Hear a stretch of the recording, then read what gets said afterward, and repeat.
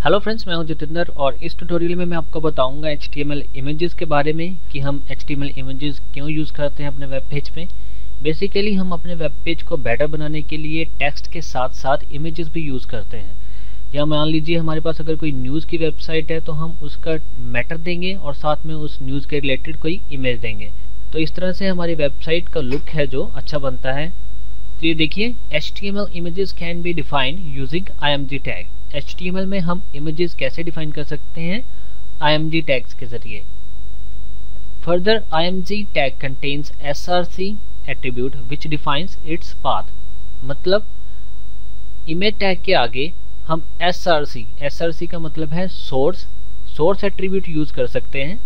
उसका path define करने के लिए कि वो जो हम इमेज यूज़ कर रहे हैं वो कहाँ पे पड़ी है? अगर हमारे वो किसी फोल्डर पे पड़ी है तो हम उस फोल्डर का पाथ देंगे। अगर वो सिंपल हमारे बाहर ही पड़ी है फ़ाइल तो हम सिंपली उसका पाथ दे देंगे।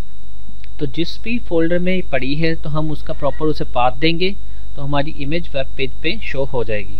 We can also use height and width attribute to change size of our image means हम आगे, जैसे हम सोर्स एट्रीब्यूट यूज़ करेंगे, उसी तरह से हम एक हाइट और विथ नाम के एट्रीब्यूट्स भी यूज़ करेंगे। इस आई टैग के अंदर, ताकि हम उस इमेज की हाइट और विथ सेट कर सके मीन्स उसका साइज़ चेंज कर सके। उसकी एग्जांपल देख लीजिए। ये देखिए आई टैग मैंने ओपन किया और यहाँ पे एस में उसका हम सोर्स डिफाइन करेंगे। इक्वल टू और कोर्ट्स में हम उस इमेज का प्रॉपर नेम देंगे उसकी एक्सटेंशन के साथ। जैसे मान लीजिए सहवाग नाम की इमेज है और इसकी एक्सटेंशन है डॉट जेपीजी अगर ये फ़ाइल मान लीजिए पीएनजी है तो ये फ़ाइल मेरे वेब पेज पे शो नहीं होगी, क्योंकि हमें उसका प्रॉपर पाथ देना पड़ता है।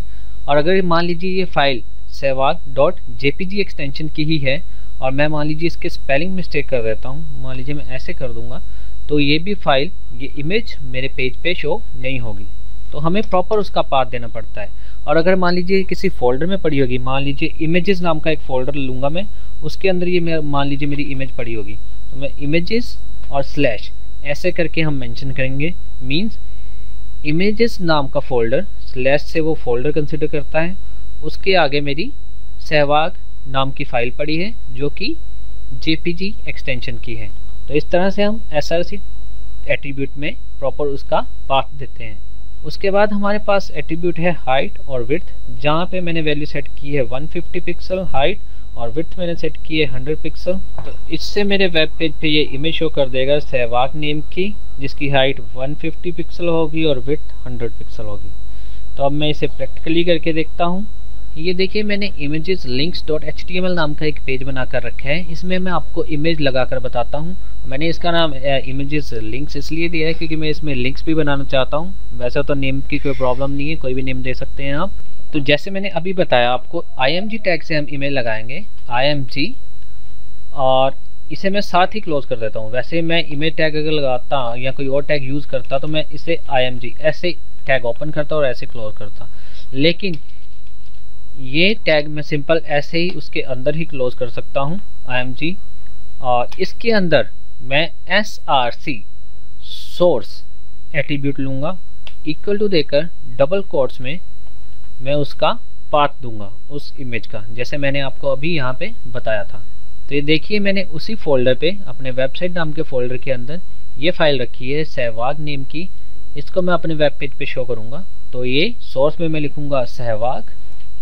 और ये मेरी जेपीजी फ़ाइल है तो मैं डॉट जेपीजी इसे लिख कर कंट्रोल एस करके सेव करता हूँ। और इस पेज को मैं ब्राउज करता हूँ। तो ये देखिए, मेरे पेज पे ये इमेज आ गई। लेकिन ये इमेज काफ़ी बड़ी है तो उसके लिए मैं हाइट और विथ इसकी सेट करूँगा। Space height H E I G H T equal to और डबल कोट्स में मैं इसकी वैल्यू दे देता हूँ 150 ये मीन्स क्या है? 150 पिक्सल मैं सेव करता हूँ और इसे यहाँ पे रिफ्रेश करता हूँ तो आप देखेंगे उसकी हाइट 150 पिक्सल हो गई। अगर मैं बढ़ाना चाहता हूँ तो इसे मैं 250 भी कर सकता हूँ। 250 किया और मैं इसे सेव करता हूँ और रिफ्रेश करता हूँ। तो इसकी हाइट 250 पिक्सल आ गई। और अगर मैं इसकी विथ बढ़ाना चाहता हूँ तो मैं इसकी विथ इंक्रीज कर सकता हूँ। एट्रीब्यूट है उसके लिए W I D T H equal to और कॉर्ड्स में हम इसकी वैल्यू दे सकते हैं। हाइट मैंने ली है 250 और मान लीजिए विथ देता हूँ 200 और सेव करता हूँ और इसे रिफ्रेश करता हूँ। तो आई थिंक ये 200 ही है। मैं इसे 300 कर देता हूँ। सेव करता हूँ और रिफ्रेश करता हूँ। तो ये देखिए उसकी विर्थ बढ़ गई। तो इमेजेस में अगर हम हाइट और उसकी विर्थ देते हैं, मान लीजिए यहाँ पे मैं सिर्फ़ हाइट देता हूँ तो उससे उसके अकॉर्डिंग ही, जैसी उसकी विर्थ है, वो उसे एडजस्ट कर लेगा। मान लीजिए मैं इसकी हाइट दे देता हूँ 450 मैं सेव करता हूँ और यहाँ पे रिफ्रेश करता हूँ। तो उसकी हाइट 450 हो गई और उसके अकॉर्डिंग ही वो मेरी विथ है जो बढ़ गई।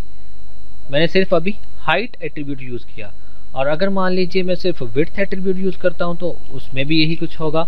W I D T H मैं विथ यूज़ करता हूँ। मान लीजिए मैं विथ अभी 50 करता हूँ सेव करता हूँ और रिफ्रेश करता हूँ तो आप देखेंगे मेरी विथ 50 आ रही है और उसी के अकॉर्डिंग उसकी हाइट एडजस्ट हो चुकी है। अगर मैं इसकी विथ बढ़ा देता हूँ 500 कर देता हूँ और मैं इसे सेव करता हूँ और यहाँ पे रिफ्रेश करता हूँ। तो आप देखेंगे विथ मेरी 500 और हाइट उसके अकॉर्डिंग उस इमेज के अकॉर्डिंग सेट हो चुकी है। तो मान लीजिए अगर मैं इस इमेज पे माउस लेकर आ रहा हूँ, ये देखिए तो इसमें ये मेरा कर्जर नॉर्मल का नॉर्मल है। अगर मैं इस इमेज पे एक लिंक लगाना चाहता हूँ तो मैं क्या करूँगा? मैं पहले इसकी हाइट और विथ थोड़ी सेट कर देता हूँ। मैं इसे विथ दे देता हूँ 250 और और मैं इसे रिफ्रेश करता हूँ। तो मैं इस इमेज पे आपको लिंक लगा कर बताता हूँ। ये देखिए मैं नोट की फ़ाइल में जाता हूँ। जैसे पिछले ट्यूटोरियल में मैंने मैंने आपको बताया था कि ए टैग के ज़रिए हम आ, लिंक लगा सकते हैं। उसी तरह से हम इस ये मैंने इमेज टैग ले लिया है और इसके बाद हमें बस इसके पहले ए टैग स्टार्ट करना है और इसके लास्ट में ए टैग क्लोज करना है। और उसके बाद यहाँ पे H R E F H F tag लेना है और डबल कोर्स में उसकी वैल्यू देंगे हम कि हम अगर वो इस इमेज पे क्लिक करे तो वो किस लिंक पर जाए। तो ये क्रिकेटर है वीरेंद्र सहवाग और मैं इसकी एक वेबसाइट ओपन करके रखी है। ये वाली सहवाग वर्ल्ड डॉट कॉम मैं चाहता हूँ कि अगर मैं इस पर क्लिक करूँ तो वो मुझे इस वेबसाइट पर ले जाए। तो मैं ये यहाँ पे इसका यू कॉपी करता हूँ और यहाँ पे मैं एच में उसका पाथ दे पेस्ट कर देता हूँ। ये देखिए, अब मैं यहाँ पे इसे रिफ्रेश करता हूँ। तो आप देखेंगे कि मैं इमेज के ऊपर माउस लेकर जा रहा हूँ तो मेरा जो माउस है वो हैंड टूल में चेंज हो रहा है। इट मीन्स कि ये एक लिंक क्रिएट हो चुका है। तो मैं इस पे, इसके ऊपर क्लिक करता हूँ तो ये मुझे सहवाग वर्ल्ड डॉट कॉम की वेबसाइट पर ले गया। तो ऐसे हम इमेजेस लगाते हैं और इमेजेस पे लिंक क्रिएट कर सकते हैं। अगर आपको ये मेरा ट्यूटोरियल अच्छा लगा तो प्लीज़ मेरे वीडियो को लाइक कीजिए और मेरे चैनल को सब्सक्राइब कीजिए। Take care